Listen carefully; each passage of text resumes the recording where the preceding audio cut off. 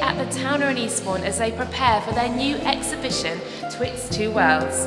Now we're here to talk to Gaia Tedone to find out a bit more about it.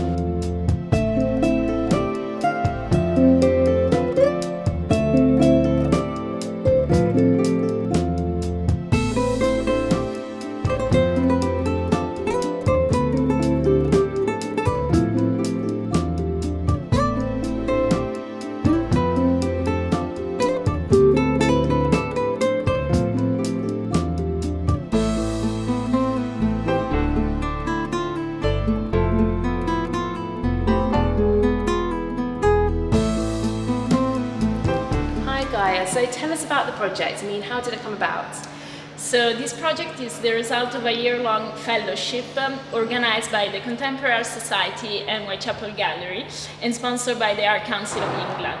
And uh, in my case, hosted by the Brighton and Hove Museum.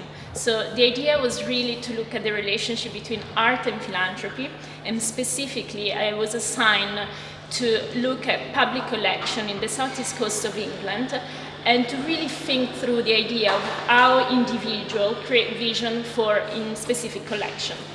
Uh, so when I went down to Brighton, I was immediately attracted to the collection of uh, twin brothers, uh, John and William Barnes, um, which really documented the transition between still and moving images. Uh, so I really decided to focus uh, my idea um, departing from, from their collection and explore further their collection. Uh, and really think uh, about that exciting moment in history when photography evolved into moving image. Now, how did you link the historical um, pieces with all the contemporary work in the exhibition? Yeah, so having the opportunity to really uh, look at many public collections in the south east coast of England, I didn't really want to confine to one single collection because it was such a great opportunity. Uh, so my idea was just to uh, really try to find an angle within uh, this narrative of the transition between still and moving image and to sort of expand it onto contemporary works. And what seemed to me the most uh, interesting aspect was this idea of, of the double, meaning uh, double um, exposure and superimposition. So how uh, the overlap between images uh, was actually a key moment in enabling like the transition onto moving images, but also was a kind of suggestive vehicle to, to think about both photography and film as a vehicle for, for another dimension, for, for a world of uh, um, supernatural power and kind of um, spiritualism.